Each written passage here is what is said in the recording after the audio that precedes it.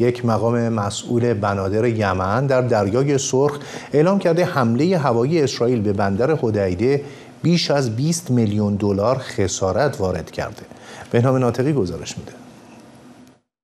بندر هدیده در دریای سرخ برای یمن حیاتی است. اکثر مواد غذایی سوخت و سایر مایحتاج یمن که با کمک های بین المللی خریداری می شود از این طریق وارد کشور می شوند بندر هدیده روز شنبه سی تیر ماه در اثر حمله جنگنده های اسرائیلی به شدت خسارت دید. مسئول بندر تایید کرد که تأسیسات بندری باراندازها جر سقیل ها ساختمان های اداری و همچنین ذخایر سوخت شرکت نفت یمن هدف قرار گرفتند.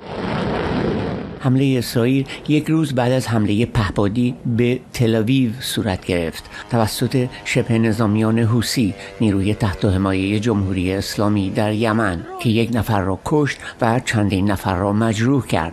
معاون شرکت دولتی که بندر هدیده را اداره می کند روز پنجشنبه 11 مرداد ماه از بندر بازدید کرد.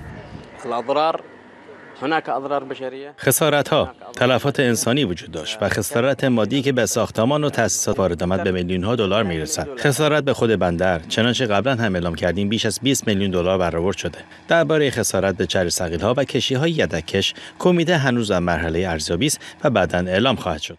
معاون شرکت بنادر دریای سرخ یمن گفت به فاصله 36 ساعت بعد از حمله اسرائیل تخلیه کشتی های حامل مواد ضروری در بندر از سر گرفته شد.